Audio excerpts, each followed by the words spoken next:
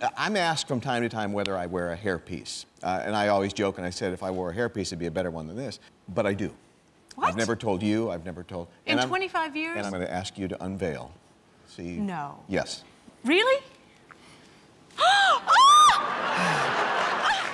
I, I feel so free. I feel now that you and I can relate as in, in an honest way. Good night. Happy April 1st, everybody.